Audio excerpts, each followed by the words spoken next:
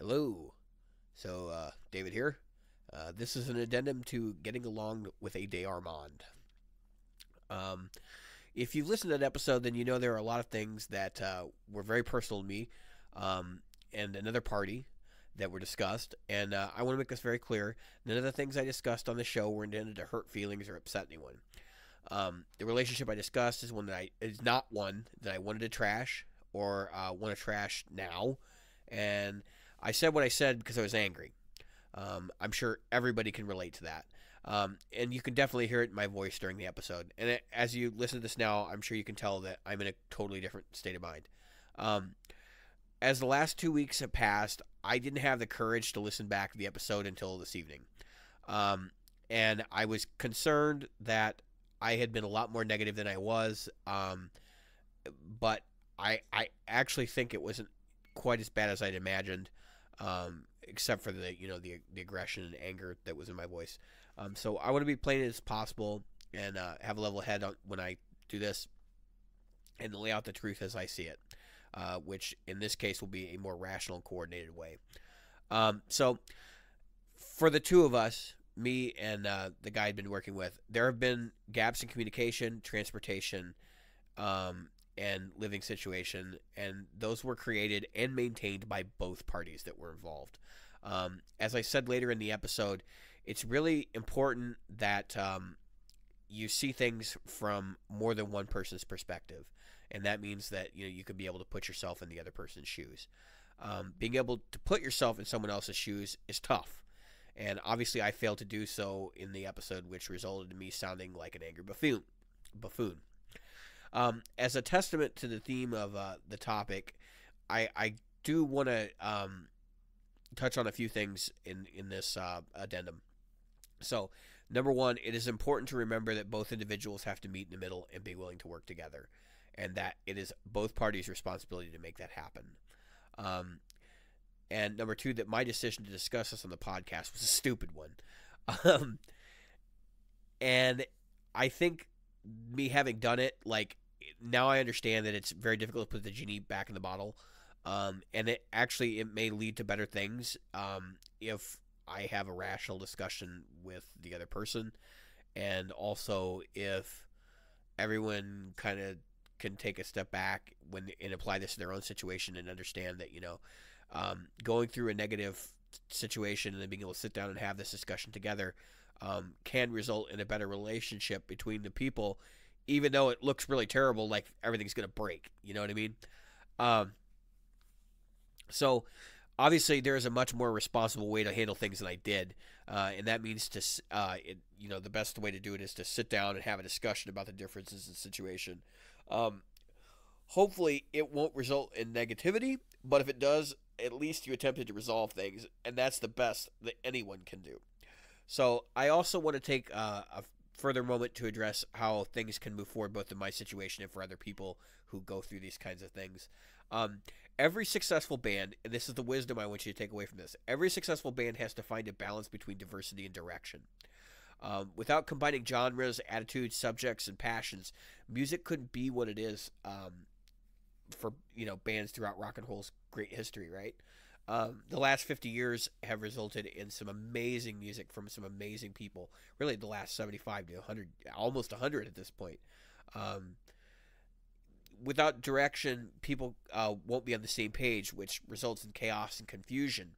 So, when either of these items, either diversity or direction, um, is in too great a supply, things collapse and turmoil ensues. So, you need to bring balance to the force, basically.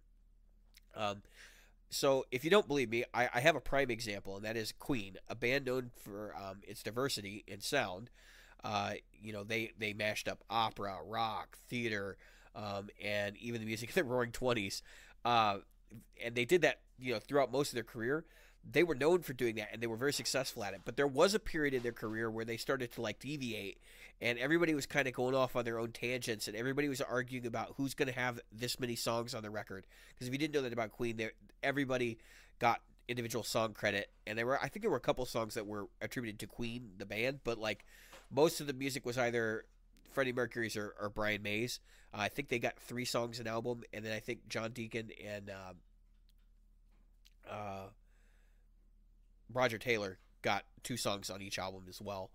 Um, what ended up happening was that there were these infighting things going on because everybody wanted to you know do their own thing and like they they all were getting more money when they had writing credits so everybody fought and whatever um, and it, it, during this period when everybody was kind of like arguing about who gets writing credit and whatnot and how many songs they were going to put on the records and all that um, freddie started to have uh, a friendship with with david bowie uh, accounts vary as to how much that what that friendship actually was, but basically they, they started to be friendly and, and actually David Bowie came came and uh, produced the album Hot Space.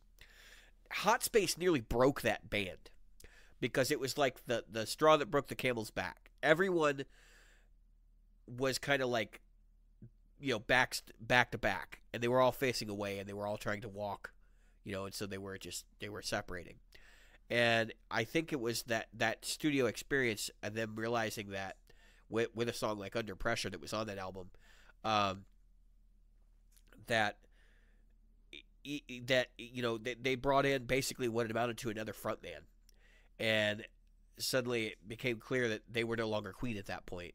So uh, you could tell, like from the from the albums further, like their sound became a lot tighter, and they were more interested in trying to do the same things and I think a lot of the squabbling about how many who got how many credits and stuff ended.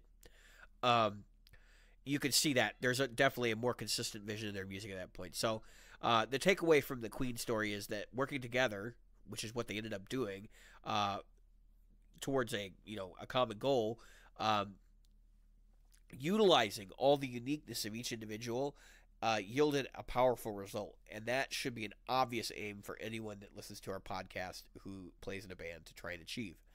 So, um, consummate with this, like, I, I want to make take a brief moment and kind of give like an update of what's going to happen next for me, and I and I'm honestly not sure. Um, I don't know that I, you know, well, I do know that I can't put the genie back in the bottle, so to speak, and um, I do intend to enter uh, into a discussion with the party that I was talking about in the episode, but I'm going to do it this time with a rational, clear head, and we're going to talk together, and we're going to see what happens because ultimately it has a lot to do with you know communication and um, just having a common goal.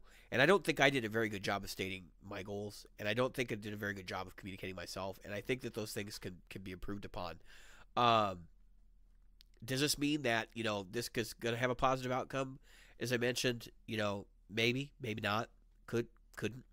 It depends. Uh, and ultimately, I will feel better about having had this discussion.